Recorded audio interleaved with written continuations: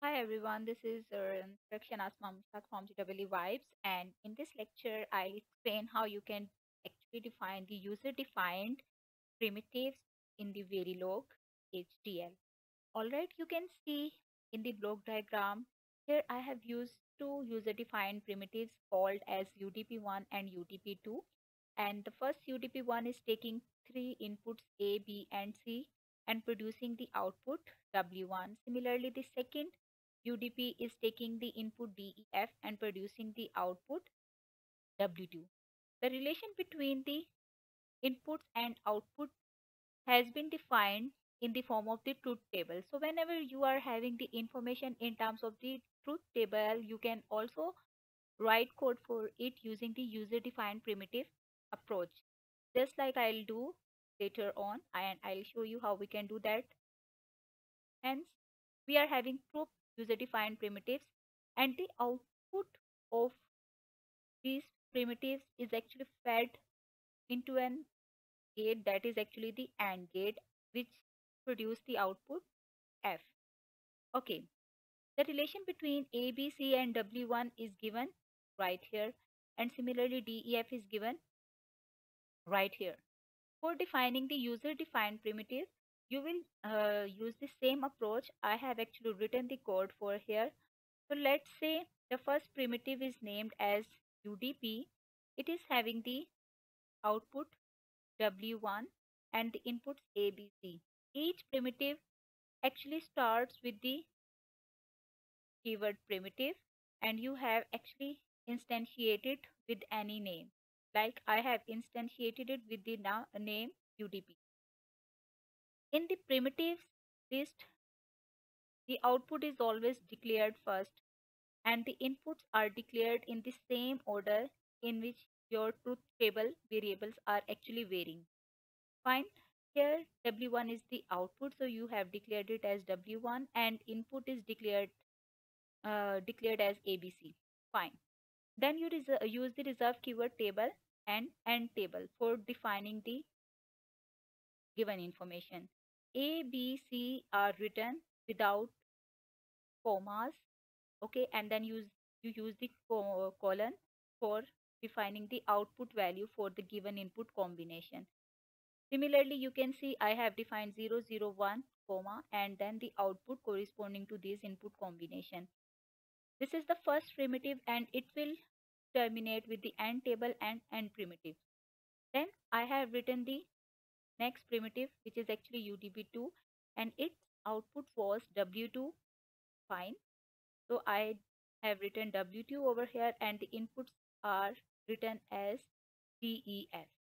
Again, it will start with the keyword table and terminate with the reserved keyword end table and finally this primitive ends with the reserved keyword end primitive. Okay, now the next step is to write down the Verilog module for this. You can see I have written the primitives and the module on the same Verilog module file. Okay, so module is named as the UDP1 and here you can see as indicated in the diagram in this module the W1 is actually the interconnection between the user defined primitive and the input of this AND gate and similarly W2 is the input of the this gate and it's the output of the UDP2.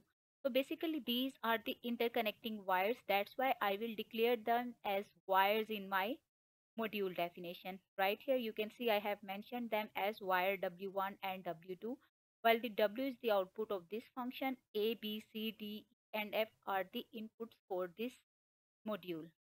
Okay. Okay. Uh, so since this module has only one output marked as W and the inputs are A, B, C, D and F. Six inputs are present in it and two wires W1 and W2. Now let's just call the user defined primitives and uh, we know that W1 was the output of the first module operating on these three input variables. Similarly, W2 was the output of the second module, uh, second primitive using these three variables. Okay, and finally, output W is actually generated using the two input wires W1 and W2 and I have instantiated with the name G1. And this is the definition of the module having multiple user-defined primitives. The next step is to actually check the behavioral syntax and you can see there is no error present. If you will click on this simulate behavioral modeling, you will get this window actually pops up and you will set its value by clicking on the force clock. Here you will write 1, the rising edge is 1, falling edge is 0 and cancel after 1 nanosecond and the duty cycle of the waveform or input waveforms is actually 50 milliseconds. I have done that all for all the input variables. Fine. So when I will play it, I can see these types of the waveforms will appear. If I will click on zoom to fit, fine. So we can see right here when the inputs are uh, just a minute let me just set a little so here A, B, C, D, E, F are the inputs and W is the output while W1 and W2 are the interconnecting wires. So when A is equal to 1, B is equal to 0 and C is equal to 0. Similarly, D, E, F all are equal to 0. So let's go back to the table for verifying this. When A is equal to just 1 and B and C are 0. So the output of the first module is equal to 1. While D, E, F all are 0, the output is also equal to 1 in that case. That's why the function is the AND of these two modules and out should be equal to 1. So we can see W is equal to 1 in that case. Thank you for watching. If you have more questions, you can drop your questions in the comment section. Also like and subscribe to my channel. Allah Hafiz.